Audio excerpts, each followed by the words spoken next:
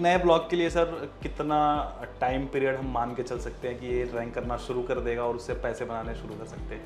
देखिए मोटा-मोटी मुझे मुझे जो मैंने आपको एग्जांपल दिया अभी कम से कम तीन महीने के अंदर आपको ट्रैफ़िक में Exactly इनकम मिलना शुरू हो जाता है। Like hundred to two hundred dollars आप सिर्फ़ तीन महीने के अंदर बना सकते हैं वो भी पर डे का रेवेन्यू मैं बता रहा हूँ जो कि एक अच्छा अमाउंट मेरे ख्याल से. डिसेंट अमाउंट है मेरे ख्याल से। और अगर आप इसी तरह की वेबसाइट पे एक साल तक मेहनत कर लेते हैं तो आप तो फिर बहुत ज़्यादा बड़ा पैसा बना सकते हैं मेरे हिसाब से। तो एक साल का एक समय है जो कि देना होता है। जैसे कुछ लोग कहते हैं भाई यूट्यूब पे मैं आ रहा हूँ, मैं कम से कम एक साल तो दूँगा।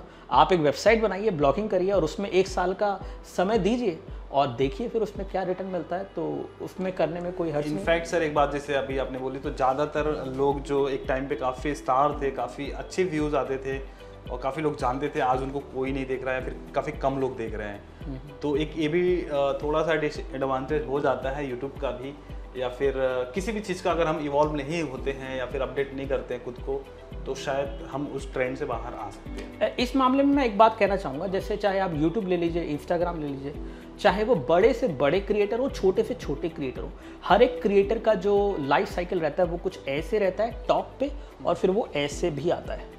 चाहे आप शाहरुख खान भी हैं तो एक समय के बाद आपकी पिक्चरें नहीं चलती हैं। हालाँकि आप टॉप के स्टार रहे हैं। तो ऐसे में यूट्यूब या इंस्टाग्राम पे जब आप जाते हैं तो आपका ये पाथ रहेगा सेम रहेगा, सब लोगों के लिए रहेगा।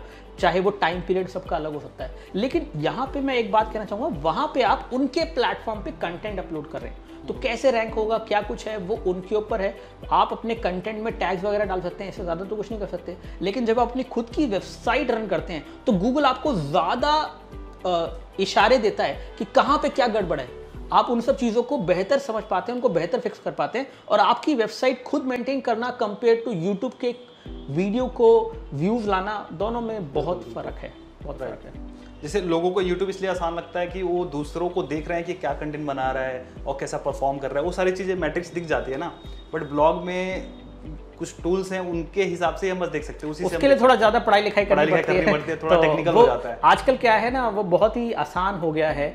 आ, ये चीज़ को एडजस्ट करना कि भाई ये ऐसा कर रहा है तो मैं भी ऐसा कर लेता हूँ। हाँ। लेकिन आ, कोई वेबसाइट का आर्टिकल है वो क्यों रैंक कर रहा है उसके अंदर क्या फ़ायदा मिल रहा है लोगों को उसके कीवर्ड की कितनी वैल्यू है ये सब करने के लिए थोड़ा पढ़ना पड़ेगा। पढ़ना तो लोग कई बार शॉर्ट रूट ले लेते हैं जो कि हमेशा सही नहीं रहता। तो कुछ अगर टूल्स आप बताना चाहेंगे यूजफुल टूल्स ब्लॉगिंग के लिए? देखिए मैं ब्लॉगिंग के लिए एक बहुत ही सस्ता वाला टूल बता देता हूँ। वैसे तो एच है जो कि बहुत ही महँगा टूल है। हर कोई उसको अफोर्ड नहीं कर सकता।